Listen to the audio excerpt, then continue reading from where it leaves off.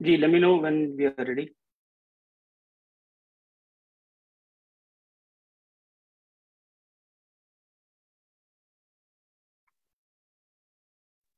जी अस्सलाम वालेकुम मेरी स्क्रीन शेयर हो रही है? जी अस्सलाम वालेकुम मेरी जी वालेकुम अस्सलाम शेयर हो रही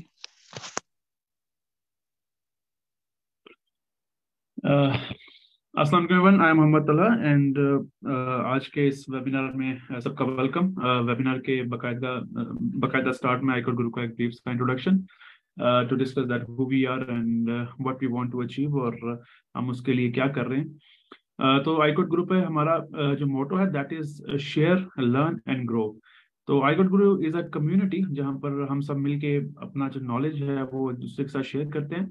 और दूसरों के नॉलेज से जो है वो हम लर्न करते हैं टुगेदर एज अ कम्युनिटी हम ग्रो करते हैं Uh, the ultimate mission of iCode Guru is to uplift the technical landscape of Pakistan. तो जो पाकिस्तानी यूथ है जिसमें आपके अंडर स्टूडेंट्स आते हैं आपके अर्ली के प्रोफेशनल्स आते हैं इवन आईकोड गुरु का मिशन है कि उन लोगों के अंदर वो एक uh, उनकी जो एम्प्लॉयबिलिटी है इंटरनेशनल मार्केट में उसको अपलिफ्ट करना और इस, इसके लिए हम इन स्टूडेंट्स में इन, इस यूथ के अंदर वो हाईटेक स्किल्स को उजागर करना चाहते हैं, जो कि टेक जाइंट्स या बैंक कंपनीज़ हैं, जैसे कि, जैसे Facebook Amazon Apple Google Netflix etcetera वो स्किल्स जो कि इन कंपनीज़ में इन डिमांड है, हम वो स्किल्स इस पाकिस्तान यूथ के अंदर जो है उसको मेच्योर करना चाहते हैं। और इसके अलावा हम ये अपॉर्चुनिटी प्रोवाइड करते हैं टू इंटरनेशनल जो हमारे स्टूडेंट्स हैं हम उनको गेट इन टच करते हैं विद इंटरनेशनल इंटरनेशनल मेंटर्स जो कि स्टैब्लिश प्रोफेशनल्स हैं around the globe and specially in USA जिससे ना सिर्फ़ उनकी टेक्निकल नॉलेज जो है वो इंक्रीज होती है बट उसके साथ साथ उनकी जो प्रोफेशनलिज्म है, वो भी मेच्योर होता है। What is our focus and how do we work जो आईकोड गुरु का मेन फोकस है दैट इज़ जैसे मैंने भी मेंशन किया टेक्नोलॉजी uh, के ऊपर हम हम लोग फोकस करते हैं और uh, अगर टेक्नोलॉजी में भी हम बात करें तो फिर हम कोडिंग के ऊपर फोकस करते हैं। तो आईकोड गुरु पर हर रोज जो है वो छह डिफरेंट सेशंस रन किए जाते हैं और इन छह डिफरेंट सेशंस में हम कोडिंग के ऊपर डिफरेंट तरीकों से डिफरेंट रस्तों से हम कोडिंग के ऊपर काम कर रहे होते हैं। और इसके साथ साथ हर हर वीक एक वीकेंड के ऊपर एक वेबिनार भी ऑर्गेनाइज करवाया जाता है और एक वर्कशॉप भी ऑर्गेनाइज करवाई जाती है जो कि कम्प्लीटली हैंड्स ऑन होती है। और ये जो वेबिनार ऑर्गेनाइज करवाया जाता है, इसमें हम जो स्टैब्लिश प्रोफेशनल्स हैं around the globe and in from Silicon Valley हम उनको रिक्वेस्ट करते हैं कि वो हमारे प्लेटफॉर्म पर आए और अपना नॉलेज हमारे स्टूडेंट्स के शेयर करें। और ये जो सेशंस हैं, जब मैं कोडिंग की बात करता हूँ तो हम लीड कोड के ऊपर जो है प्रैक्टिस करते हैं कोडिंग की। LeetCode is just website जहाँ पर जितने भी ये फ़ैन कंपनीज़ हैं, इनके इंटरव्यू के कोडिंग क्वेश्चंस पड़े होते हैं। तो जब हम कोडिंग सिखाते हैं तो फिर हम उसकी प्रैक्टिस जो है लीड कोड क्वेश्चंस के ऊपर करवाते हैं, ताकि स्टूडेंट्स इन कंपनीज़ के इंटरव्यूज़ के लिए तैयार हो सकें। इसके अलावा आईकोड गुरु स्टूडेंट्स की हेल्प करता है अंडरग्रेड के बाद जो जो लोग मास्टर्स करना चाहते हैं पीएचडी करना चाहते हैं फ्रॉम अब्रॉड तो आईकोड उनकी हेल्प करता है to secure fully funded graduate scholarships in USA और उसके लिए हम uh, जो है वो उनकी डॉक्यूमेंटेशन के ऊपर काम करते हैं जैसे कि एसओपी है सीवी uh, है और इस तरह के जितने भी डॉक्यूमेंट्स चाहिए होते हैं और इसके साथ साथ हम आई और जीआरई के बैक टू बैक सेशन जो है वो भी रन करते हैं और ये सब कुछ कम्प्लीटली फ्री होता है। और, जैसे जैसे मैंने बोला कि हर रोज जो है वो आईकोड ग्रुप में छह सेशंस हो रहे होते हैं, एक वेबिनार भी हो रहा होता है वीक में और एक वर्कशॉप भी होती है तो ये सेशन जितने भी हैं दे आर ऑल रिकॉर्डेड और ये हमारे फेस जो हमारा ऑफिशियल फेसबुक पेज है, वहाँ पर अवेलेबल होते हैं।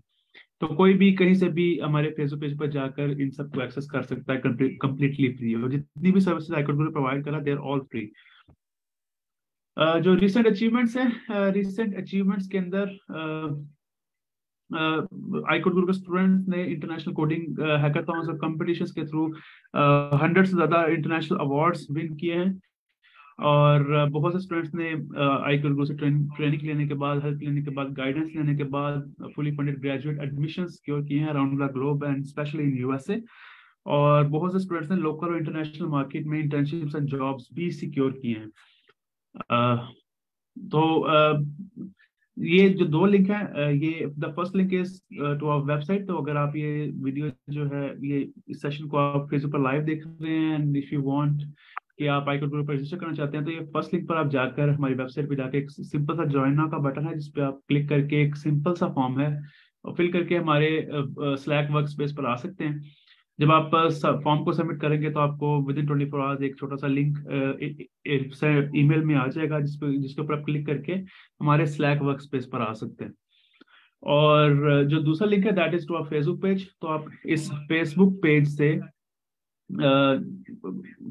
से हमको हमको फॉलो कर सकते हैं और जितनी भी आईकोड गुरु की लेटेस्ट अपडेट्स हैं और जो प्रीवियसली लेक्चर्स हैं, उन सबको वहाँ से एक्सेस कर सकते हैं। तो आज के हमारे इस वेबिनार का टॉपिक है everything about next generation data centers और हमारे साथ गेस्ट स्पीकर हैं sir Azeem Suleman. Sir director हैं प्रोडक्ट मैनेजमेंट के at Cisco's cloud networking business unit thank you so much sir for your valuable time आपका बहुत शुक्रिया सर, आपके, आपने अपने कीमती वक्त से हमारे लिए, हमारे स्टूडेंट्स के लिए वक्त निकाला और आज आप हमारे साथ नॉलेज शेयर करेंगे। सर मैं अपनी स्क्रीन शेयरिंग स्टॉप कर देता हूँ और मैं आपको स्क्रीन शेयरिंग के राइट्स दे देता हूँ। सर आप यहाँ से स्टार्ट कर सकते हैं। Thank you so much sir again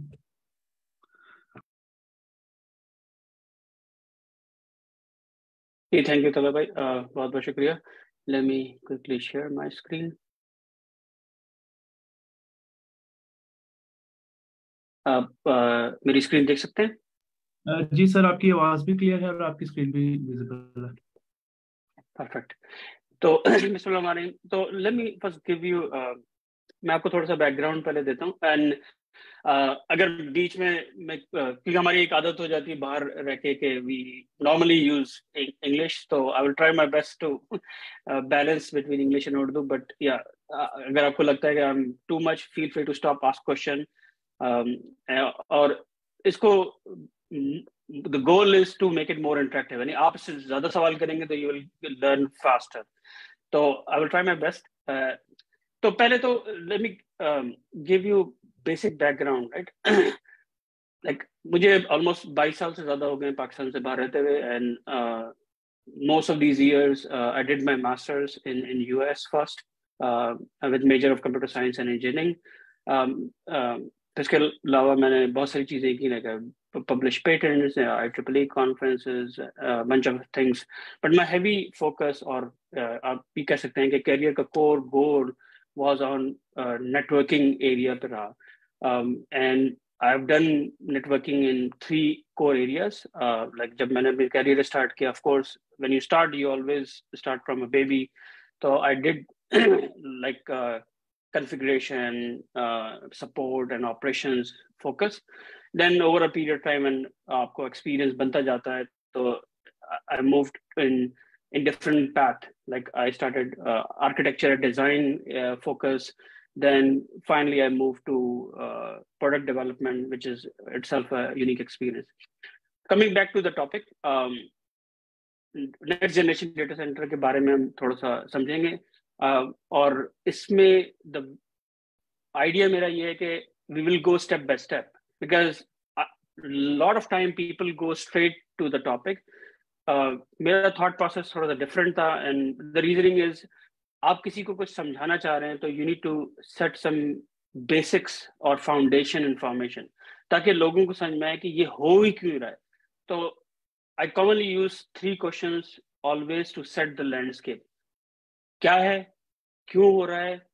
और किस तरफ़ जा रहा है? If you know these answers very well आपको खुद ब खुद चीजें समझ में आएगी and you can easily self learn bunch of things और इस पूरी चीजों के ऊपर I will keep it at a high level but if you have questions feel free to stop ask the goal is again get as much data as much knowledge you can because we learn uh, work here we know a lot of these things and sometimes it's easier for us to answers and go as much dimensions or as detail as you want तो पहला common question I think everybody might have ideas अगर they have not played with data centers और उन्होंने data centre पर इतना काम नहीं किया तो what is a data center data center है क्या? ये क्या बला है? इसको पहले कोशिश करते हैं समझने की। Data center is in a simple language या इस उर्दू जबान में आप इसको कह लें कि एक जगह है। लाइक एक जगह है जहाँ पर आप बहुत सारे कंप्यूटर्स बहुत सारे सिस्टम्स को आप एक जगह कनेक्ट करके रखते हैं और इसका गोल बड़ा सिंपल होता है कि आपके पास जो कंज्यूमर्स हैं like consumers could be like people like us because nowadays we have phones we have tablets we have uh, laptops. All these things are consumers because ये क्या करते हैं? ये एक्सेस करते हैं डेटा फ्रॉम डिफरेंट लोकेशंस तो data center का goal क्या होता है? It's becomes a house of multiple types of data and of course इस डेटा को प्रेजेंट करने के लिए बंच ऑफ़ एप्लीकेशन दिखी जाती हैं, जो कि डिफरेंट स्ट्रक्चर्स में होती हैं टीयर्स में होती हैं. तो in a nutshell data center is just an elastic place that keeps the data intact that's a very simple definition and I built simple slide share after the call तो Talha I can share with everybody Uh, and I've given some reference links so it becomes easier if you want to go details. तो पहले तो simple ही हो गया कि एक एक जगह है लाइक जैसा हमारे पास घर होता है घर में लोग रहते हैं तो वी कॉल घर या house because there people living into it same thing data जहाँ रहता है तो उसको उसके घर को नाम एक डेटा सेंटर कह दिया हमने। अब दूसरा सवाल ये आता है कि डेटा सेंटर के कोर कंपोनेंट्स हैं क्या? या अज्जा उर्दू में अगर आप उसको बोलें तो क्या है? ऑफ़ कोर्स सिर्फ़ इमारत या कोई बिल्डिंग तो नहीं हो सकती, क्योंकि आप बात कर रहे हैं कंप्यूटर्स की टेक्नोलॉजी की। तो let's break down into multiple different component इसको एक एक लेवल पे हाई लेवल पे देखते हैं कि कौन कौन से core component of course there more than that but core component या फंडामेंटल कंपोनेंट्स क्या हैं? पहली तो इमारत ऑफ़ कोर्स आपको जगह चाहिए, क्योंकि आपने ये सारी चीज़ें टेक्नोलॉजी की इंस्टॉल करनी है, इनको मेंटेन करना है। तो स्पेस या बिल्डिंग दूसरा ऑफ़ कोर्स जब आपने जगह ले ली तो आपको पावर चाहिए या बिजली चाहिए इन नटशेल क्योंकि आप किसी चीज़ को आप बूट अप करेंगे या मेंटेन करेंगे तो उसको आपको तवानाई एनर्जी चाहिए। जब आपने ये दे दी, तवानाई दे दी एनर्जी दे दी now you need to connect them together क्योंकि विदाउट नेटवर्किंग और बेसिक कनेक्शंस आप बाहर से इसको एक्सेस नहीं कर सकते या कंज्यूमर इसको एक्सेस नहीं कर सकता रीचेबल नहीं हो सकता। तो that's where you build different types of rack rack is nothing just इस तरह उर्दू में आप कह सकते हैं अलमारी है लोहे की uh, उसके डिफरेंट साइजेस होते हैं फोर्टी टू आर यू या फोर्टी फोर आर यू तो वो एक तरह का रैक है जिसमें इस तरह मैंने पिक्चर लगाई हुई ताकि becomes easier so here you can see this black big large pallets are called racks अब रैक के बाद यू नीड केबल्स राइट आपको कोई मीडिया चाहिए कि ये सिर्फ़ रैक में आप जाके चीज़ें फेंक देंगे या रख देंगे तो it's not gonna work you need to connect them together तो आपने तारे यूज़ करनी तो that's where you use the the cabling stuff then बात आ जाती है इंफ्रास्ट्रक्चर की। Infrastructure has multiple sub component and आज की वेबिनार के हिसाब से we will keep it at a high level but we can have multiple different parts to go in each of the area. Because data center, as I said, it's a house of different uh, information data it has multiple component, multiple disruption of technologies going at a very rapid space. और उसकी भी हम देखेंगे कि uh, क्या क्या examples हो सकती हैं तो infrastructure in a nutshell is comprise of या मिला के आप उसको कह लें कि network compute network means it is devices that connect multiple different component one और मोर कंप्यूट मीन्स जहाँ पर आप कंप्यूटेशन कर रहे हैं या आप कोई प्रॉब्लम सॉल्व करने के लिए रिसोर्सेज यूज़ कर रहे हैं। स्टोरेज जहाँ पे आप सेविंग कर रहे हैं या डेटा राइट कर रहे हैं आर्काइव कर रहे हैं। And security of course top of everybody's mind आप नहीं चाहते कि आपका जो डेटा है या आप जो एप्लीकेशन लिख रहे हैं या किसी कंज्यूमर के लिए या किसी भी सर्विस के लिए, वो हर किसी को एक्सेस हो। It needs to have some sort of a security layer कि only authorize users can access तो these are the the high level pillar कह लें अज्जा कह लें आप डेटा सेंटर के। नेक्स्ट की क्वेश्चन आता है कि चले, ये तो समझ में आ गया कि डेटा सेंटर क्या है, इसके अज्जा क्या हैं। नाउ इनके टीयर्स भी तो होंगे। जिस तरह हम घर बनाते हैं तो घर के डिफरेंट टाइप्स हैं। कोई बंगलो बनाता है, कोई पैलेस बनाता है, कोई अपार्टमेंट बनाता है। कोई फ्लैट बनाता है तो हर तरह के टाइप्स हैं या टीयर्स कह लें तो इसी तरह डेटा सेंटर्स के भी, भी डिफरेंट टाइप्स है टीयर्स पहले हम टीयर्स को देख लेते हैं। टीयर्स का मतलब क्या है कि ये आप दर्जात हैं क्योंकि डिपेंडिंग ऑन किस तरह की आप सर्विस लेंगे उसी सर्विस के हिसाब से उसके टीयर की categories define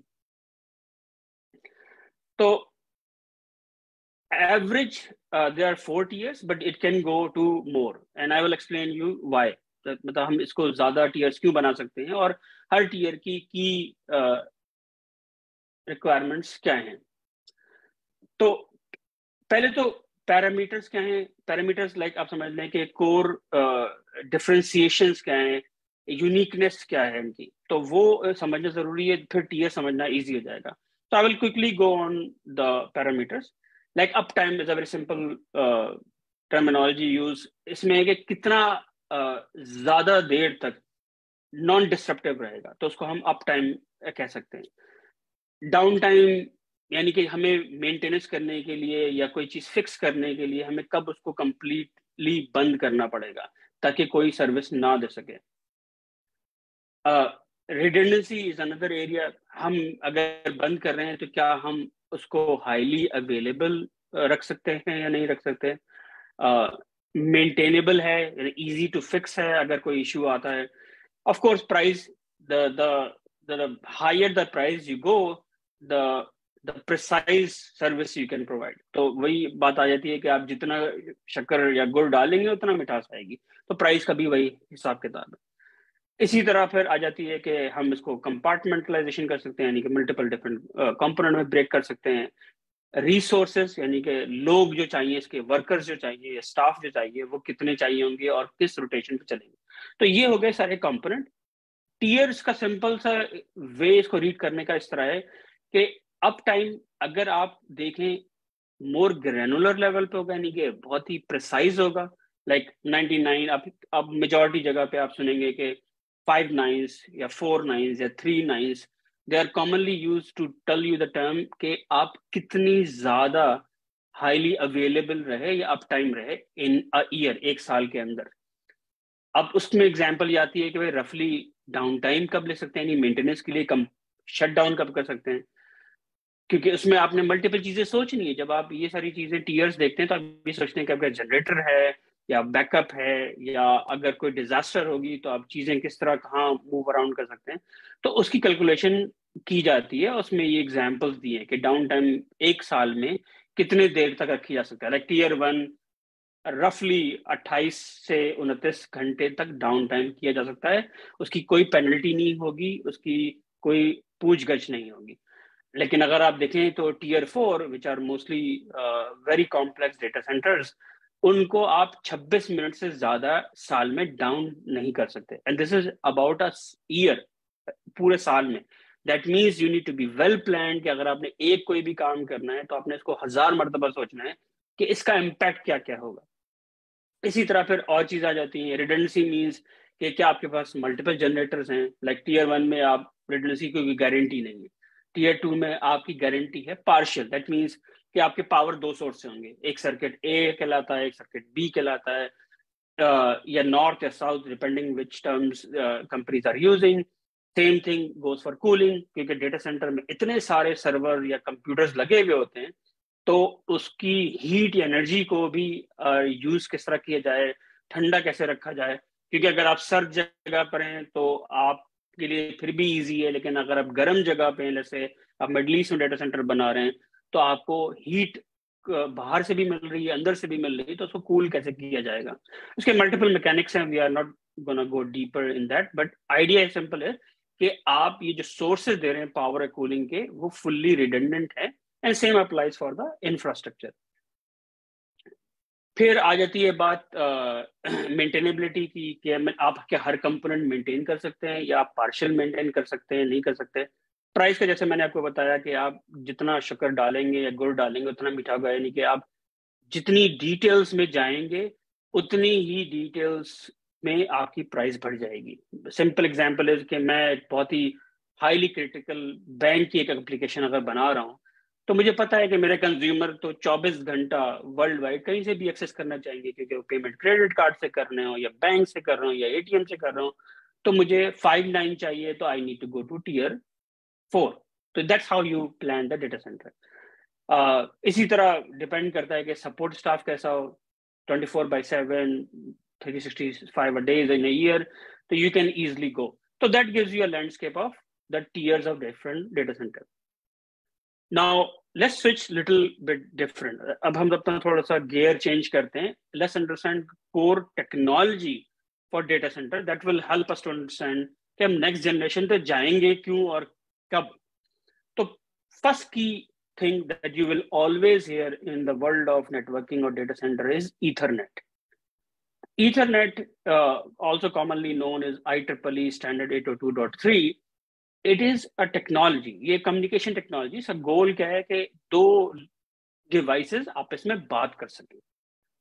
When they are connected they can talk अब उसमें they will define some rules uh, i'm not going to go in detail about the protocols but idea simple है they will have some negotiation कि अगर मैं दो device हूँ जैसे एक 100 गिग है एक 10 मैग है these are speed of the Ethernet तो ये आपस में बात कैसे करेंगे एग्री कैसे करेंगे क्योंकि एक हायर स्पीड है एक लोअर स्पीड है तो that is how Ethernet helps them to communicate of course Ethernet को बात करने के लिए कोई केबल चाहिए। अब cable could be in different form factors cable Ethernet का भी हो सकता है, केबल फाइबर ऑप्टिक्स का भी हो सकता है। इस तरह इस पिक्चर में मैंने दिखाया कि भाई इथरनेट केबल्स लगी हुई हैं और इथरनेट पोर्ट्स जो कि स्विच के पोर्ट्स हैं या या कनेक्टर्स हैं, वो लगे हुए हैं। So that is the core basics required for data center कि आपको इथरनेट टेक्नोलॉजी यूज़ करनी पड़ेगी। अब सवाल ये आता है कि ठीक है इथरनेट टेक्नोलॉजी समझ में आ गई कि ये दो या दो से ज़्यादा डिवाइसेस को कनेक्ट कर रही है। ये लोकली uh, भी कनेक्ट कर सकती है मेट्रो uh, या सिटी टू सिटी भी कनेक्ट कर सकती है uh, या वैन वाइड एरिया भी कनेक्ट कर सकती है या ग्लोबली कनेक्ट कर सकती है। Multiple examples of Ethernet but ये इवॉल्व कैसे हुई? क्योंकि that will answer some of the questions कि why we are going for next generation हम ऐसे तो नहीं है कि हमें ख्याल आया कि भाई डेटा सेंटर बहुत पुराना वर्ड हो गया, हम नेक्स्ट जनरेशन लगा देते हैं भाई क्योंकि एक नया नाम चाहिए। तो ऐसा नहीं होता। चीज़ें जब इवॉल्व होती हैं या एक पीरियड पे जाके डिस्ट्रप्ट होती है तो उसके लिए बहुत सारी रीजनिंग होती है। तो मैं आपको क्विक एक चार्ट ये दिखा रहा हूँ and this is a public forum and I will give you the reference of Ethernet alliance forum की ये चार्ट है।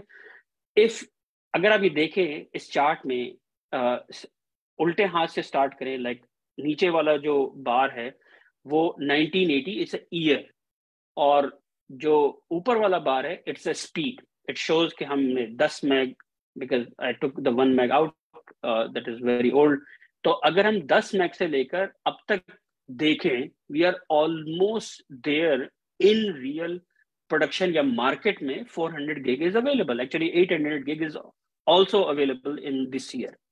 तो अगर आप देखें कि स्पीड बहुत रैपिडली या बहुत तेज़ी से जा रही है over a period of years लेकिन कोर चीज़ अगर आप नोट करें which is very important for all of us कि कहाँ पे बहुत फास्ट इनोवेशन हुई। And you can see that is around the era of between 2010 uh, to 2020 so roughly we can say easily 2015 से 2020 में that is the paradigm shift.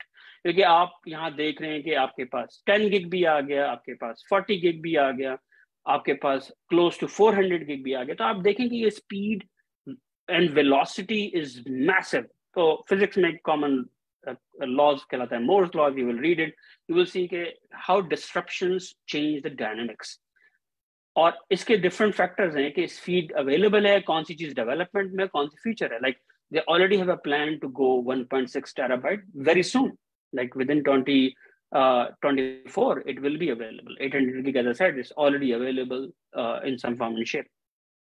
तो ये तो बात हो गई कि भाई इथरनेट क्या था? इथरनेट की स्पीड किस स्पीड से या किस तेज़ी से ट्रांजिशन कर रही है? लेकिन अब बेसिक क्वेश्चन आता है कि ये ईथरनेट यूज़ कहाँ कहाँ होता है?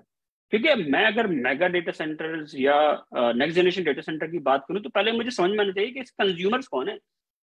कौन लोग हैं जो यूज़ करते हैं? ताकि फिर मुझे समझ में आएगा कि मैं बनाऊ ही क्यों?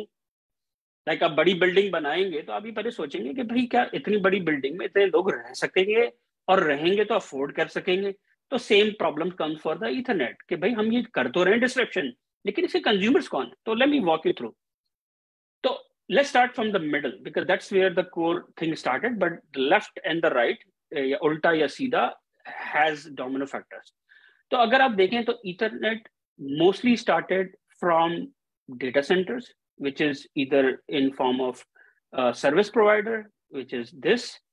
क्योंकि अगर आप देखें traditional service provider like even in अगर पाकिस्तान के हिसाब से देख लें like when I used to do in my engineering in like early 90s उस वक्त इंटरनेट इतना पॉपुलर नहीं था। मतलब एक या दो सर्विस प्रोवाइडर होते थे मैक्सिमम तो आपके घर तक इंटरनेट की स्पीड हाई लाइकली जो है वो लेस देन अ मैग मिलती थी क्योंकि you use a dial modem at that time and you connect through that telephone line लेकिन आप अब देखें तो you have half fibre connectivity और in some cases you might have some fibre also और और लाइक अ केबल कनेक्शन तो automatically ये स्पीड आपको थ्रू सर्विस प्रोवाइडर या डेटा सेंटर रीचेबिलिटी बढ़ गई। सिमिलरली आपके जो कैंपस हैं लाइक ऑफ़िस जो बनती हैं बिल्डिंग्स बनती हैं, आप अगर अब जाएँ टेलीको हब चले जाएँ या different enterprise campus let's say as example मैं कोई भी ब्रांड ले लें पाकिस्तान का तो उनके जो ऑफ़िस होंगे, वहाँ पर डिवाइसेस लगी हुई होंगी, क्योंकि जो ऑफ़िस के एम्प्लॉय हैं, वो यूज़ कर रहे हैं वो कैंपस कहलाता है। उस कैंपस में वो इंटरनेट यूज़ करेंगे क्योंकि आपका लैपटॉप कनेक्ट हुआ हुआ है आपका फ़ोन कनेक्ट हो रहा है आपके प्रिंटर्स कनेक्ट हो रहे हैं। तो आप ये देख सकते हैं कि स्पीड एंड फ़ीड रिक्वायरमेंट्स उस कैंपस की भी इवॉल्व होती गई। It started from ten meg to hundred meg to gigs right so you have different types of requirement कुछ इंटरप्राइज uh, ऐसे होते हैं जिनके सर्वर्स uh, उनके ही फ्लोर पर रखे जाते हैं। लाइक सिंपल एग्जांपल आप समझ लें कि आप डीएनएस सर्वर या आप मेल uh, एक्सचेंज अगर आप यूज़ कर रहे हैं या आप पोर्टल अगर कोई कर रहे हैं तो आप बाजू का करते हैं कि बजाय मेन डेटा सेंटर पे रखने के आप उसको कैश सर्वर्स आप लोकली उस फ्लोर पे या कैंपस में रखते हैं। तो that is how the service provider and enterprises initially use the ethernet heavily. Now let me go the left first and then पहले मैं उल्टे साइड वाले से स्टार्ट करता हूँ because that is a area that is causing more disruption than on the right side which is already at a very high maturity rate तो automation in automotive industry like अगर आप देखें internet of things internet of every things is a very common terms use and why it is use is so एक question मैंने अभी देखा कि are there any wireless media in use with the data centre Uh, so exam uh, answer है yes wireless media is also used in data center but wireless media is not necessarily is an ethernet in all case so but yes they are used in uh, the data center but they're mostly used for uh, the consumers like uh, administrators so let's say uh, to take your questions in the next level कि अगर मैं एक data centre technician हूँ या manager हूँ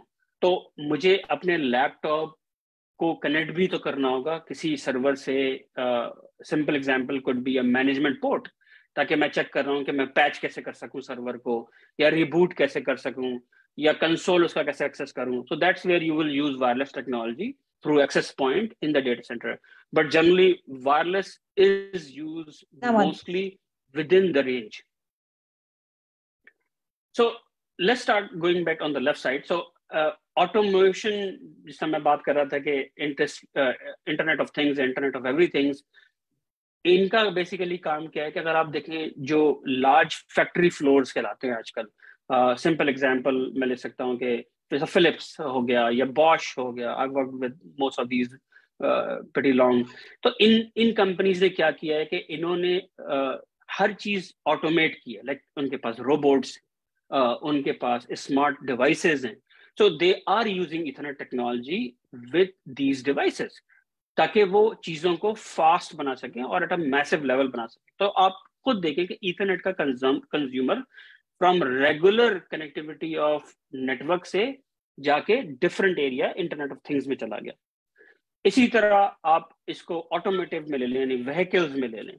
तो गाड़ियाँ पहले जो थी वो इथरनेट पे नहीं थी और रीजन वॉज़ वेरी सिंपल क्योंकि गाड़ी अगर आप देखें So there are uh, five key generations of car. Like most of us, uh, when we used to drive uh, car, हम जब पाकिस्तान में गाड़ी चलाते थे हम उसको स्टिक शिफ्ट या मैनुअल कार कहते थे। This is like a level one car क्योंकि उसमें कोई ऑटोमेशन नहीं थी गाड़ी थी उसका केबल या बस बिहाइंड द सीन लगा हुआ था हर चीज़ से कनेक्टेड था फ्यूज पोर्ट्स लगे हुए थे तो गाड़ी आप स्टार्ट कर रहे हैं चाबी के through behind the scene fuse और डिफरेंट चीज़ें चलती हैं and that's how start I think you have a question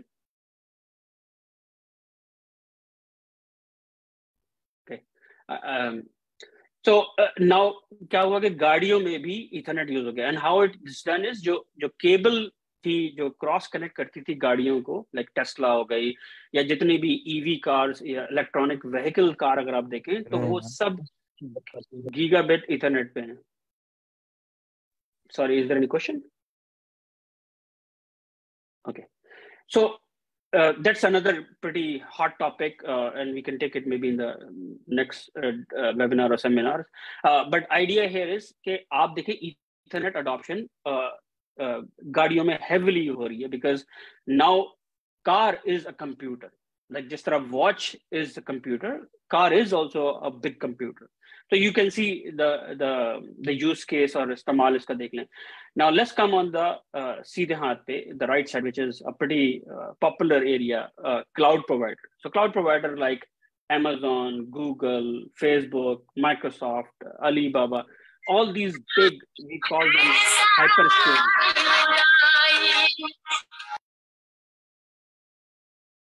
ये हाइपर स्केल क्लाउड प्रोवाइडर्स जो हैं वो ईथरनेट टेक्नोलॉजी को बहुत ही हाई और बहुत ही सोफिस्टिकेटेड वे में यूज़ करते हैं। और रीजनिंग इज़ वेरी सिंपल जो कि हम आगे देखेंगे। And they are the one of the early adopters of next generation data centres तो क्योंकि अब सिंपल इस एग्जांपल ले लें फेसबुक हो गया। अब हम सब जूम मीटिंग के थ्रू कनेक्टेड हैं और हम स्ट्रीम कर रहे हैं फेसबुक पे। फेसबुक में millions and billions of consumers are connected through their phone, through their laptop, through their iPad, tablets, whatever you call them.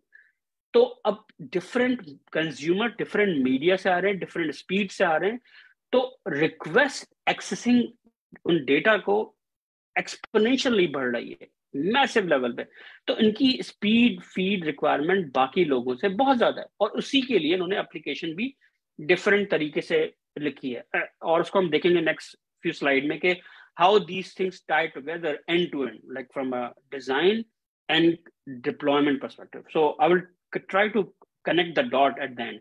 But core goal, which I want to focus here is why Ethernet is center of all the data center connections.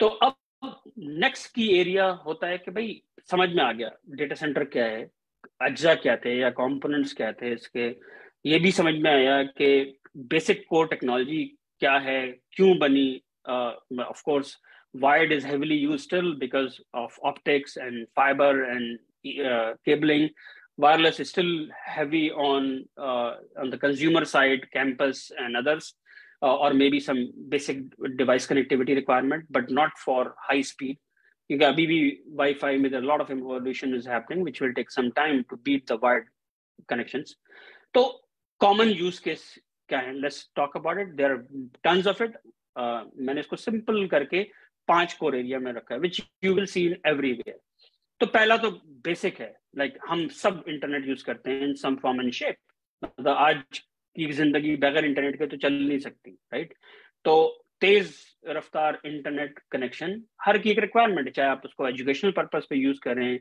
Like like अभी जिस तरह हम video voice communicate कर रहे हैं इस webinar में that is also because of high speed अब अगर आप लो स्पीड होगा तो आप, हो सकता है आपकी आवाज़ कटे, आपकी तस्वीर कटे। तो all those requirements is a critical for data centre depending of what application service you are using second big use case या इस्तेमाल आप कह लें application because we all are part of consumer of application So uh, I see a, a, a, question, is Ethernet the dominant interface even for 400 gig interface or there are other competing standard that take over that level? So uh, simple answer, uh, 400 gig and 800 gig uh, Ethernet is dominant. And the reasoning is twofold. Uh, पहला ये है कि open standards और आई standards are heavily working on Ethernet. Like अगर आप technology के हिसाब से देखें तो टोकन रिंग या बस टोपोलॉजी या mainframe all those are obsolete because वो आगे नहीं बढ़ सके क्योंकि स्पीड एंड फीड को डिस्टर्ब नहीं कर सके Ethernet has lot of commonality uh, like collision detection uh, collision avoidance uh, security bunch of other things are solved in this case second question है what are the security and privacy concern in cloud based data centre तो security का भी हम answer uh, करेंगे next few slide में because I don't want to मैं बहुत divert नहीं करना चाह रहा otherwise you will lose the thought security definitely is another big area. We'll, we'll go in detail. But let's uh, come back to the focus of use case. क्योंकि किसी भी चीज़ का अगर आपको इस्तेमाल पता है तो यू विल अंडरस्टैंड कि मसले कहाँ चल रहे हैं क्योंकि अगर आपको वो प्रॉब्लम से मसले समझ में आ गए तो आप सोल्यूशन बनाना आपके लिए आसान होता है।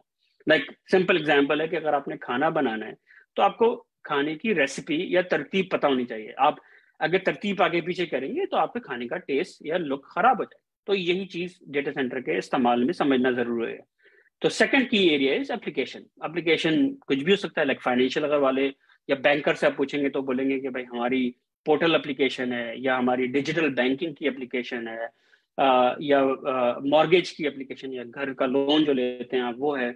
इसी तरह अगर आप आ, जो है वो फाइनेंशियल से हट के आप चले जाएँ लेसे ई कॉमर्स पे तो वो बोलेंगे कि भाई हमारा जो है वो ई कॉमर्स वेबसाइट है जिसमें हम let's say Ali cloud Amazon like you name whatever e commerce you are using it fashion designing bunch of things. So they are all application some form and shape are hosted in data center अभी हम इसके ऊपर detail जाएँगे कि कैसे host करते हैं क्या कैटेगरीज है क्या टाइप्स है that's another debate third very very common in any data center shared services ये बला क्या है shared service like you can say in urdu is mushtarka khidmat गोल इसका ये है कि हम कुछ ऐसी एप्लीकेशंस लिखते हैं या कंज्यूम करते हैं जो आपको हर डेटा सेंटर में चाहिए।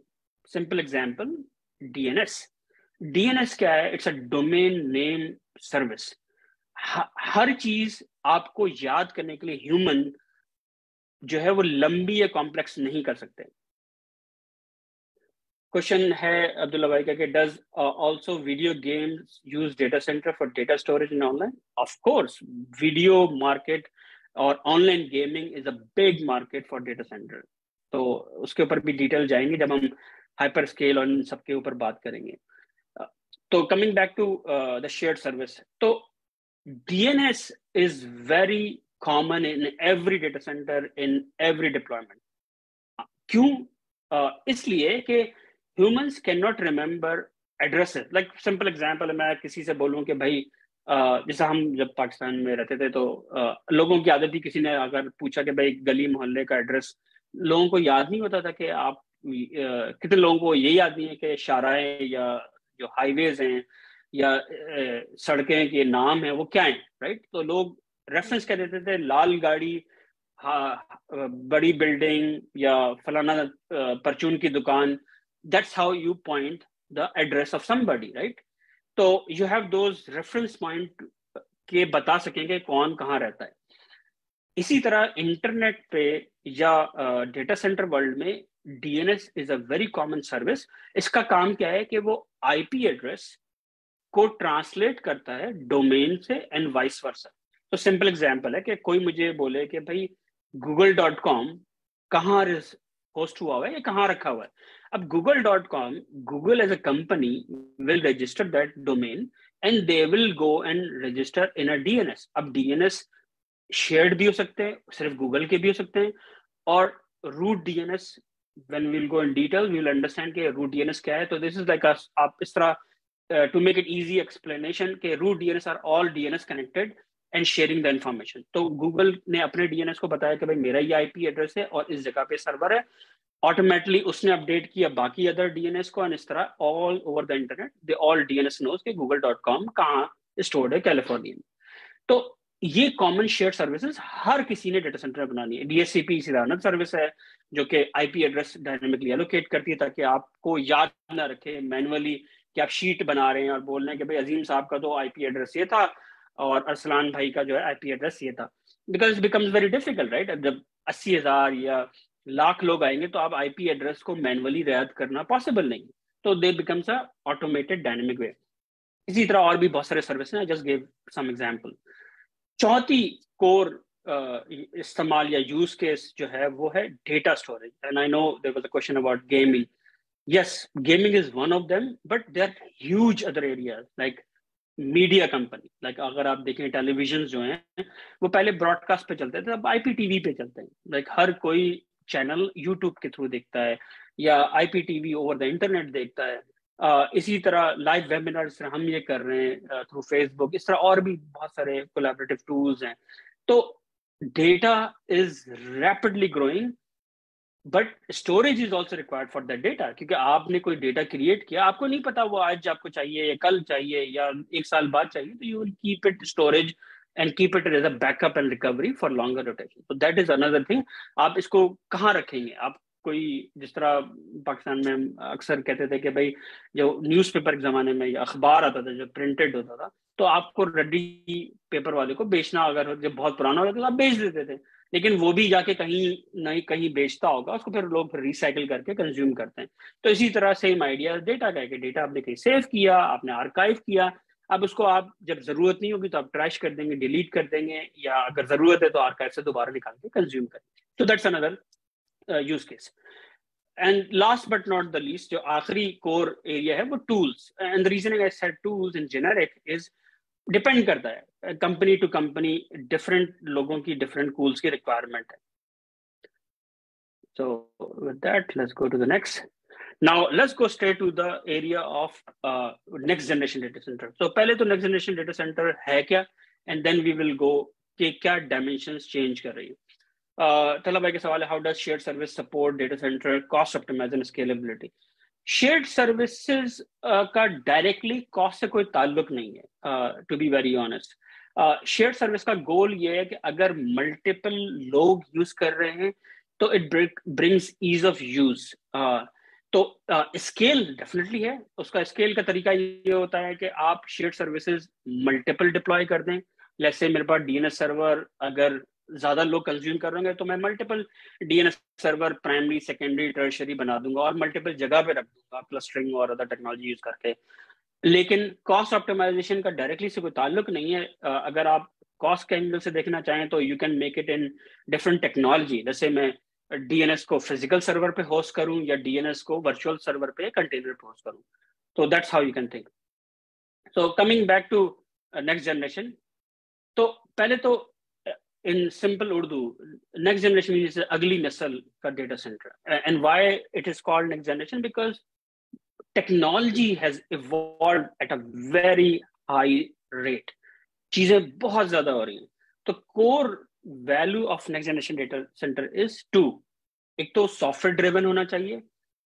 सेकंड इट इज़ अजाइल और फ्लेक्सिबल तो आपने डेटा सेंटर जो पहले बना रहे थे सिंपल एग्ज़ाम्पल आप इस तरह समझ लें कि आप पहले जो होटल्स बनाते थे वो बनते थे सौ साल दो साल depending on area and and the dynamics of the area कोई नहीं है क्लाइमेट uh, नहीं है या मच ऑफ़ डिफरेंट थिंग अब जो नए होटल्स बन रहे हैं they are more in flexibility right कि आप उसमें इको फ्रेंडली डाल देंगे कि भाई लाइट ऑफ़ हो जाएगा, कोई नहीं कमरे में बैठा।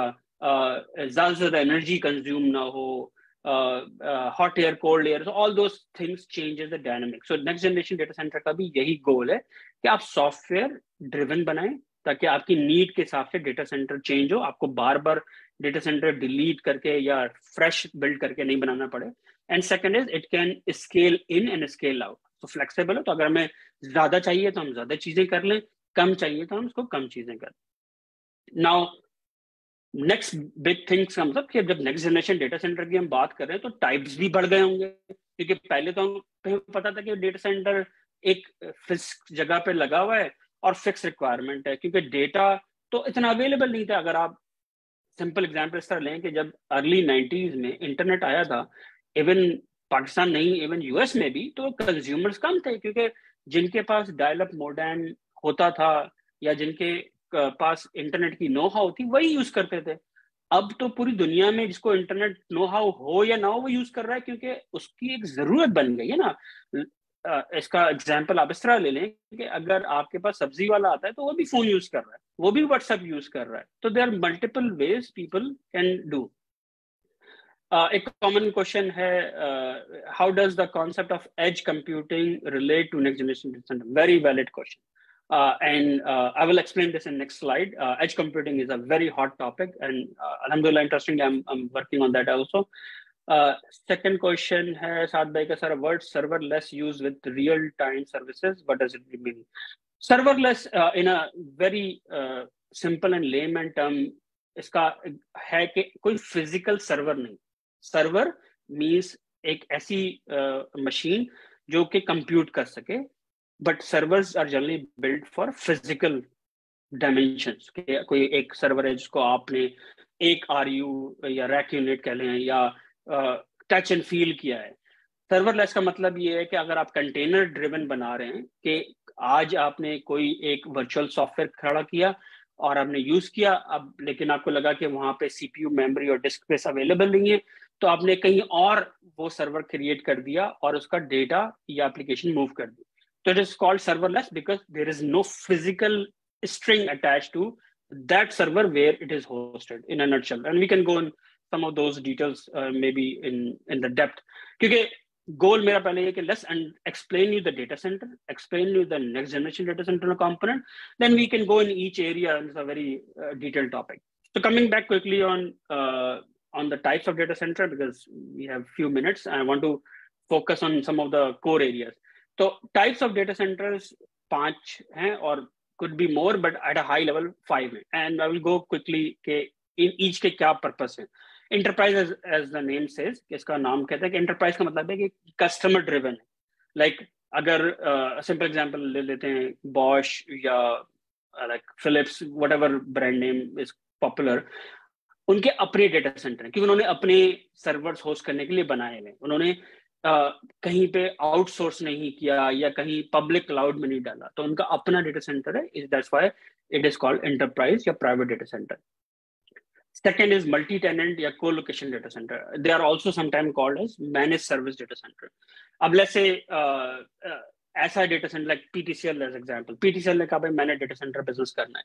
पीटीसीएल ने कहा कि भाई मैंने एक मल्टी टेनेंट डेटा सेंटर या कोलोकेशन स्पेस बनानी है और जितने डिफरेंट मेरे क्लाइंट है वो मेरे डेटा सेंटर में डिफरेंट स्पेस या रैक ले सकते हैं तो it becomes a multi tenant क्योंकि मल्टीपल टेनेंट या किराएदार रह रहे हैं वहाँ पर or they are using the data center of PTCL. So that's another example, which is very common business क्योंकि जिनके पास इतनी आप समझ लें कि कॉस्ट के इश्यूज़ होते हैं या रिसोर्स के इश्यूज़ होते हैं they sometime don't build their data center उन्होंने कहा कि भाई मुझे अगर चार सर्वर रखने हैं तो मैं डेटा सेंटर क्यों बनाऊँ? या मुझे जो है, दस सर्वर रखने तो मैं क्यों बनाऊँ?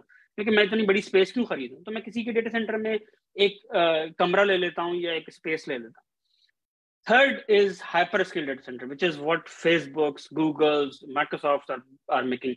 Sometimes they are also called massively scalable data center or MSDC. Uh, as the name says, इनका goal ये कि they will build for massive reasons. क्योंकि इनके servers एक दो नहीं हैं, हजारों में, like uh, अस्सी हजार, lakh servers. Uh, and the reason they went that much is because there are billions of users and they're building hundreds of hundreds of applications. So that's what hyperscales come in the picture. Edge or micro data center is a new terms uh, getting very popular is for 5G because अब हो क्या रहा है कि आप phones की requirement uh, बढ़ती जा रही है। फ़ोन पे एप्लीकेशन की रिक्वायरमेंट बढ़ती जा रही है। तो application is changing the data processing not to go to the main data center क्योंकि लेटेंसी रिक्वायरमेंट है बैंडविड्थ की रिक्वायरमेंट है। इंटरफेस uh, की रिक्वायरमेंट है तो all these things are changing the the dynamics of edge and micro DC last but not the least is the container data center the container modular data center which means आप एक ऐसी जगह पर हैं जहाँ पर फिजिकली डेटा सेंटर बिल्ड करना आसान नहीं। तो लेट्स कि आप मिडल ईस्ट में हैं या डेजर्ट एरिया में हैं या आप ऑयल uh, एक्सप्लोरेशन जगह पर हैं तो वहाँ पर आप ये इस तरह का as you can see in the picture the तस्वीर में you can build that as a center Uh, I see a few questions. Let me quickly answer. I'll go to the next enter. So question is web hosting by server is example of multi-tenant data center? Uh, not necessarily. So let me answer that. Why? Uh, so web hosting uh, by a server is a service.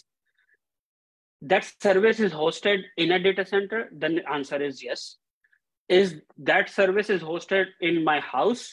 Then it is not a data center. So आपने इसको ये देखना है कि कौन सी चीज़ किस तरह से टाइप हो रही अगर मैं अपने घर पे एक सर्वर लगा दूँ और उसको आईपी एड्रेस दे के इंटरनेट पे रीचेबल कर दूँ अजीम डॉट कॉम तो it is not a data center तो it is giving you a service it might be very slow it might not scale but it is a service so it is a web hosted in my house because I have enough speed at my house like मेरे घर में gig ethernet speed है because I have a fiber connectivity so you need to uh, think that way दूसरा सवाल है कि how important is software defined infrastructure in next generation very valid question so software defined is key for next generation data center and we'll talk that in uh, next two slides uh, so hold that thought uh, let me come back here तो पहला सवाल ये कि data centre grow क्यों कर रहा है क्योंकि this is very important for you as as a programmer और डेवलपर तो very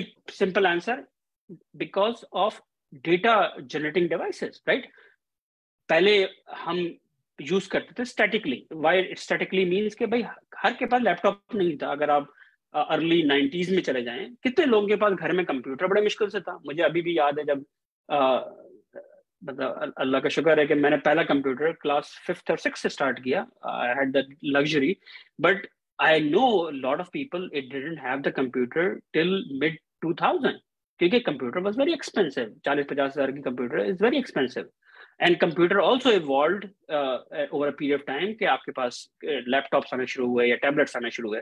तो इफ़ यू सी के devices become slim and easier and that's why the penetration of data generating devices increase massive.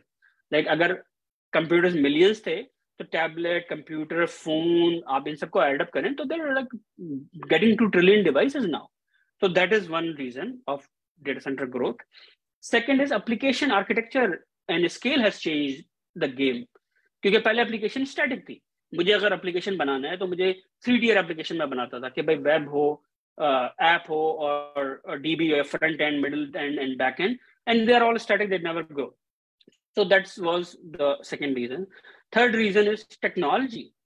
And simple example technology is virtualization आप एक server पे एक application से ज़्यादा इंस्टॉल नहीं कर सकते थे। अब आप एक सर्वर पे सौ एप्लीकेशन इंस्टॉल कर लें। Because virtualization container has change the dynamics and we can go that detail in the next session speed मैंने आपसे बताया कि इथरनेट की स्पीड से डायनेमिक्स चेंज हो गए। Uh, sustainability is another hot topic. We should talk about it. It's, it's becoming a big disruptor. Uh, in a nutshell, it's a consumption, optimal consumption of power. क्योंकि micro economics की वजह से power is a big issue बहुत सारे countries में जैसा अक्सर हम मजाक में कहते थे कि भाई पाकिस्तान में लोड शेडिंग बहुत होती है पावर नहीं है अब तो यूरोप में भी हो रही है because power is becoming a big issue so anyways uh, coming back uh, internet of things submarine cable all these are area and i can give you some link like submarine cable pakistan may be bahut sare connected hai, and they're different speed and feed so let me finish that and then So there are two questions. Uh, let me quickly see if I can answer. Uh, how do next generation data center address the need of increased security and compliance? Good question. Yes, uh, इसका simple answer is तरह देखें कि more complexity and technology you add, more vulnerable you are. So there are a bunch of different answers to it. Uh, I'm not going to go detail in this session. Maybe we can have a data center security as a next topic. Uh, but simple answer is yes, there are cyber threats, there are malware, there are penetration, there are a bunch of different requirements. Uh, and compliance is also evolving in this case. Uh, it is risky to share data center with some other organization in view of cybersecurity. Yes, uh, that's why I said the types of data center, like uh, enterprise data center, generally they don't share with others.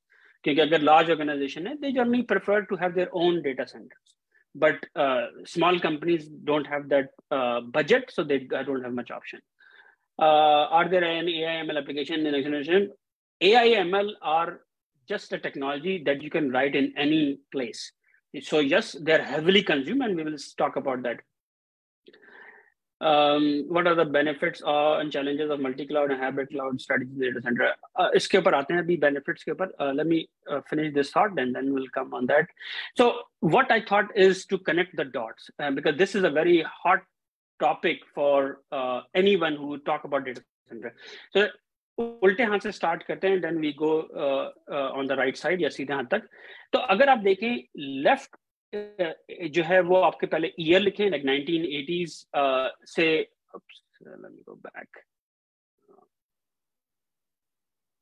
तो so, uh, फिर उसके बाद जो columns हैं ऊपर top पे लिखा है development process which is what developers used to write application architecture who builds application deployment package and stuff I think there some background noise तला can you mute तो इन सारी चीजों को अगर आप देखें तो हर चीज इवॉल्व हो रही है like developers are evolving from waterfall agile to DevOps application is moving from monolithic to end tier to microservices. Same goes for the data center, right? Physical was initially, as I said, like early 80s, it was only static data centers. Then virtualization disrupted the data center. That's where hosting and managed services or co-location data center came up. Now containers are disrupting it furthermore. That's where the cloud or hyperscale data center has evolved. So you can now connect the dot. Okay, why these things are really relevant in the next generation data center. And I know there was a question how multi-cloud uh, and uh, and hybrid cloud help in this case. So three things you need to remember very briefly, and then we can go in the detail next session. Private cloud, which is nothing just an enterprise data center uh, or owned by a company. Uh, public cloud, which is nothing just a hyperscale data center like Facebook's or uh, Amazon or, or Google's of the world, because they built hyperscale data center, but for public consumption. They can give it to anybody depending on the contract and agreement. And then hybrid means it's in between. So it, it is landing from private to public, could be one cloud or one public cloud, or could be n number of multi-cloud. So that's where multi-cloud comes the picture. So at a high level, we can talk that maybe as a next topic because that's itself is a, is a big debate. So now what I'm trying to do here is summarizing because I saw there were a bunch of questions about software definitions versus next generation. So in तीनों को compare कर लेते हैं अब like traditional data center is what we started.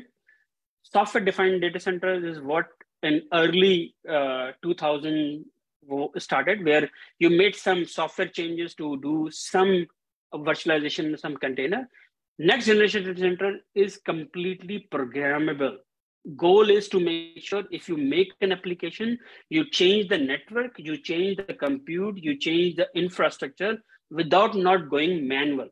तो अगर आप इसको इस तरह से देख लें कि पहले जो थी, एक साइलो थे, क्योंकि आप जो इंफ्रास्ट्रक्चर लगा रहे हैं, वो डेडिकेटेड है आपके लिए और हार्डवेयर फोकस है। सेकेंड लेयर आई कि आपने कुछ सॉफ्टवेयर बनाया लेट्स एक एप्लीकेशन को आपने चेंज कर दी but infra is still in silo like network static है या स्टोरेज स्टैटिक है मल्टी टेनेंसी नहीं है इतनी ज़्यादा स्केल नहीं है। नेक्स्ट जनरेशन डेटा सेंटर में हर चीज़ अजाइल है। आप एप्लीकेशन अगर आप लिख रहे हैं तो आप एप्लीकेशन जो प्रोग्राम में कोड लिख रहे हैं, आप नेटवर्क को भी कोड कर सकते हैं। कॉमनली टर्म यूज़ आप सुनेंगे इंफ्रास्ट्रक्चर एज अ कोड तो literally you can program anything at any layer and number and that's why next generation translator is very popular अब इनके पाँच की एरियाज़ हैं लाइक डेफिनेशन uh, पहले आप डिफाइन करेंगे कि कितनी ज़्यादा प्रोग्रामेबिलिटी जाना चाह रहे हैं। ऑपरेशन आप डिफाइन करेंगे हाउ डायनेमिक यू वांट क्योंकि सिंपल uh, आप इसको इस तरह सोच सकते हैं कि the faster you go the chances of error is higher right क्योंकि अगर मैं तेज भागूँगा तो मैं गिरने के चांसेस भी ज़्यादा है ना। तो नेक्स्ट जनरेटर सेंटर में टूल्स डिफरेंट रिक्वायर्ड हैं ऑपरेशंस की डायनेमिक्स डिफरेंट रिक्वायरमेंट है मैनेजमेंट की capability different requirement expertise different required that's where AI ML is becoming a big topic now क्योंकि अगर मैं इतने ज़्यादा नेक्स्ट जनरेशन डेटा सेंटर बनाऊँगा एप्लीकेशन बनाऊँगा तो मुझे डेटा सेंटर को मैनेज करने भी लोग नहीं चाहिए। फिर इसकी मेट्रिक्स uh, जिसको हम कहते हैं केपीआईज कॉमनली वो भी चेंज की जाएँगी। सिक्योरिटी डिफरेंट हो जाएगी। तो let's take two questions uh, how blockchain affect the data center. Blockchain itself is a different uh, topic. Uh, we can go in detail, but in a nutshell, blockchain uh, is consuming the next data center because you want to do a high performance computing to do different types of ledgers or digital ledger. Think that way. Uh, so network virtualization software defined infrastructure is almost the same thing uh, not necessarily. So question is, is network virtualization and software defined infrastructure the same? No. Uh, and why I'm saying no is net आप इस तरह देखें infrastructure generally commonly use for the term that comprises of network, compute, and storage. That's what the definition of infra. So software-defined infrastructure means is you're defining software network, you're defining software compute, you're defining software storage. so that is where software-defined storage uh, and software-defined infrastructure means. Network virtualization means is you're defining software-defined network only. So you can see it is a subset of software-defined infrastructure, which is software-defined only for network virtualization, not infra end to end. Hopefully that answers the question. What are the challenges and consideration of migrating to next generation data? That's a big topic itself. So uh, question uh, what are the migrations uh, and uh, core challenges of next generation data centers? So to be honest, in most cases, people generally uh, don't do migration when they build the data centers. And there are multiple reasoning. Um, uh, like one reason I commonly see when I talk to different uh, C level or like CEO or CIO or CTO type people or business leaders is if you do migration, you need to see, you have done all the areas. Let's say a simple example to make it easier. अगर मैं एक traditional data centre बना रहा हूँ, उसमें traditional application लिखी हुई traditional infrastructure बना हुआ है अब मैं नेक्स्ट जनरेशन डेटा सेंटर बना रहा हूँ तो मैं अगर वही चीज़ उठा के रेप्लीकेट कर दूँ नेक्स्ट जनरेशन डेटा सेंटर में तो फ़ायदा नहीं हुआ ना, क्योंकि मुझे तो ट्रेडिशनल एप्लीकेशन को उठा के मैंने पेश कर दिया एक नेक्स्ट जनरेशन डेटा सेंटर पे तो मुझे तो बिज़नेस बेनिफिट नहीं मिलने वाला तो that is how you need to think so to make it in a different lens कि मैं कहता हूँ कि भाई मुझे जो है ना वो पचास चीज़ें सीखनी है बट मुझे एक्सपर्ट नहीं बनना। जबकि मैं कहता हूँ कि मुझे एक्सपर्ट बनना है, मुझे सब मतलब नहीं है, मुझे पचास चीज़ें आती नहीं आती। तो you can see this way because next generation data center के लिए आपको नेक्स्ट जनरेशन कंपोनेंट्स भी चाहिए। तो नेक्स्ट जनरेशन नेटवर्क चाहिए होगा नेक्स्ट जनरेशन कंप्यूट चाहिए होगा नेक्स्ट जनरेशन इंफ्रा चाहिए होगा because you want to make it end to end programmable तो you can not move them like apple to orange in a nutshell you can move the data don't get me wrong. The simple way to look into it is आपने traditional data center, let's say, uh, example, you have a data center A, which is traditional, you have data center B, which is next generation. What you would do in a real world scenario is you will take the data of traditional data center, data center A to data center B and migrate. But tools or applications and infra you will build completely from scratch because you want to give a higher SLA and benefit to the business. So that's how you should think through. Uh, Talabai, I think I'm top of the hour. Uh, do I have a few more minutes or uh, do I have to end now?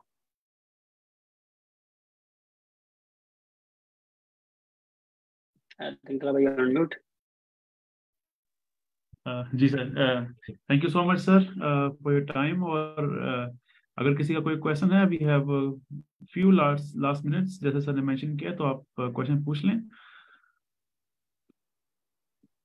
Sir we question in the chat पूछ रहे हैं कि with use of large amounts every milliseconds how do companies estimate the data growth projection of data centers in the present time very good question um, आप इस तरह सोचें कि data is centre of everything now right क्योंकि हम data सिर्फ storage uh, के लिए नहीं बना रहे नेटवर्क भी डेटा बना रहा है सेंसर्स भी डेटा बना रहे हैं तो the way companies do is they hire data scientist now and that's where you will see a lot of these new areas and, and terminology in most big companies. So they hire data analysts, they hire data sciences. So they measure the time, uh, the the time series database, how many types of data is generated, and how much data is relevant. Because again, you need to think two things. Data in a raw is useless. क्योंकि मैं ऐसा कहता हूँ simple like Google map because we all use this in every day nowadays तो अगर मुझे एक जगह से दूसरी जगह जाना है गूगल मैप में मैं डालूंगा सोर्स जहाँ से मैं हूँ मेरा घर का एड्रेस है जो भी लोकेशन है और डेस्टिनेशन जहाँ मुझे पहुँचना है तो गूगल मैप क्या करता है कि आपको डिफरेंट अल्गोरिदम ग्राफ और अदर मैथमेटिकल एल्गोरिदम्स रन करके आपको बताता है कि भाई based on the traffic and the distance इतना टाइम लगेगा approximate and you will reach there how it does it it keeps the data from different places it keeps a map of different locations it keeps the traffic time from different sources, and then it gives you the data analytics view of your source to destination. So yes, company do hire, and like most new companies or uh, next generation data center companies, they hire data analysts, they hire data science people. And to be very frank, this is a very fast growing area because आधी लोगों को या आधे companies को अभी तक यही नहीं पता कि जो इतना डेटा बनता है उनकी कंपनियों में उसका इस्तेमाल क्या है उससे नया बिज़नेस कैसे बनाए तो it is a very big topic and maybe we can have a, a discussion on that also um, but in parallel what i'm sharing and i can send in my slide as a link is uh, a map of submarine cable uh, the reason i'm showing this is twofold कि आप ये देखें कि Pakistan which shows here as a point and you can select here and see how many cables, fiber optic cables under the sea are connected from Pakistan to different location and you can zoom out and you can see every country in the world. तो आप ये देखें कि हम जो internet use करते हैं वो majority of the internet goes through the submarine cables across the world of course there satellite connection which but is not high speed yet तो this is a good interesting topic for you can visualize and see that how things consume behind the scene any other question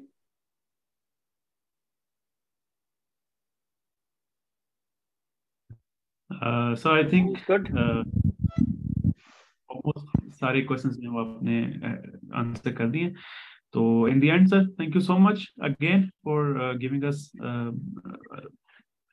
time your precious time और uh, बहुत interesting topic था और I am sure के data centers से related और इसके जो different aspects हैं वो हम काफ़ी हद तक यू नो फेमिलाइज हो चुके हैं कि if you want to explore this domain तो हमें पता चल गया कि what are the main things जिनको हमें जो है वो टच करना चाहिए? Thank you so much sir again for joining and everyone else participants को भी बहुत शुक्रिया कि आपने अपने कीमती वक्त से मेरा टाइम निकाला and you join this session this healthy conversation ji sir thank you so much I think अगर किसी कोई क्वेश्चन नहीं है then we can conclude this session here और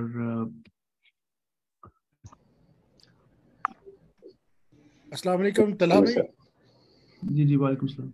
तला भाई I have one question please ji sir please जी अजीम साहब first of all thank you कि आपने टाइम निकाला और हमें आपने ब्रीफ किया कि ये क्या है।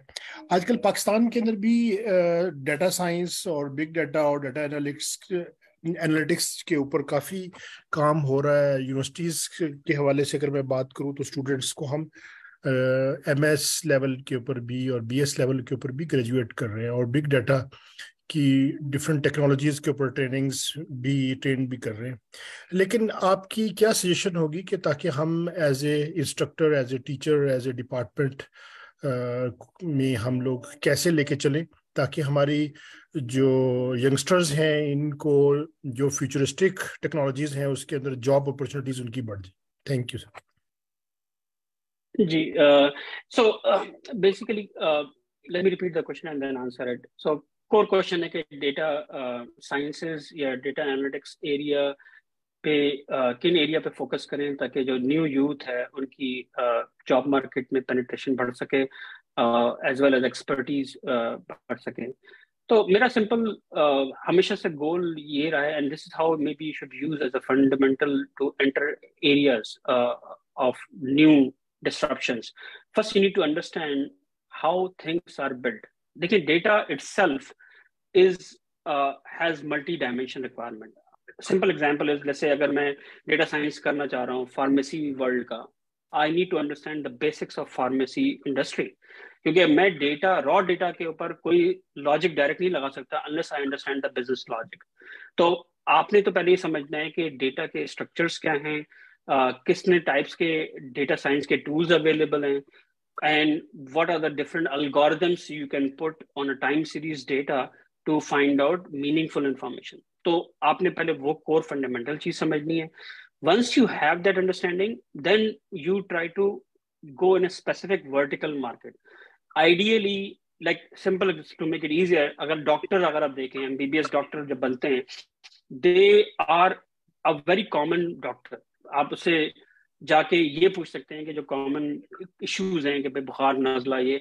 बट स्पेशलाइज डॉक्टर जो बनता है, वो एक एरिया में जाके बनता है। इधर इज़ अ पेडियाट्रिशियन इधर सर्जन इधर साइकाट्रिस्ट तो same thing applies for the data science world कि आप डेटा साइंस के जो कॉमन फंडामेंटल हैं, पहले आप वो समझें, जिसमें डेटा स्ट्रक्चर्स कैसे होती हैं डेटा के टूल्स कौन कौन से हैं, कितने लॉन्गर रोटेशन चाहिए common algorithm because all about mathematics behind the scene तो ये जब आपको समझ में आ जाता है then you try to understand कि किन किन एरियाज़ में इनका इम्प्लीमेंटेशन अवेलेबल है या हो रहा है और किन किन में स्टार्ट नहीं हुआ। एक सिंपल एग्जांपल पेंडेमिक ने बहुत बड़ा डिस्ट्रप्शन किया data science that's why it's exploding pretty big majority people in the world, not only in us are not going in person in office these days. Like and the problem with that is everybody is trying to find new business market तो इसमें आप ये देखें कि किन किन vertical market से pharmacy was a great example जब दवाइयां बननी शुरू हुई पेंडेमिक में they use this data science and pattern to find out कि फ्लू के कितने टाइप्स के पैटर्न हैं कौन कौन सी दवाइयां असर की हैं कौन कौन सी दवाइयां नहीं असर की हैं So they use different experiments to do this to find out different results of different medicine and their impacts and side effects. though that is not a data science problem, it's a combination of medical and data science together. So that is an area that you can see. Similarly, you can look into fintech. Uh, banking sector में अभी तक data science is is a rapid growth now because now everybody is consuming digital payment.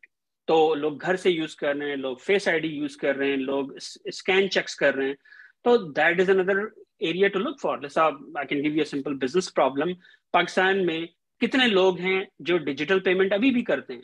Very less percent तो you can find out from the data कि वो percentage जो लोग use करते हैं और वो परसेंटेज जो लोग नहीं यूज़ करते, इनकी कैटेगराइजेशन कैसे की जाएगी? You can use that data science algorithm and patterns to find out कि किस एज ग्रुप के हैं कौन कौन सी टेक्नोलॉजी यूज़ करते हैं, और kya comfort level? And then you can use that pattern to find the new disruptions and business case. So those are the areas to focus. And thank you for having me in the session thank, and thank you uh, sir. definitely do a more topic. Uh, thank you so much sir. Thank you. Thank you. Allah Hafiz. so thank you so much sir. Uh, thank you so much everyone for joining as well. अगर किसी का कोई general question है तो आप पूछ सकते हैं। uh, नहीं तो फिर हम सेशन जो है यहाँ पे कंक्लूड कर देते हैं।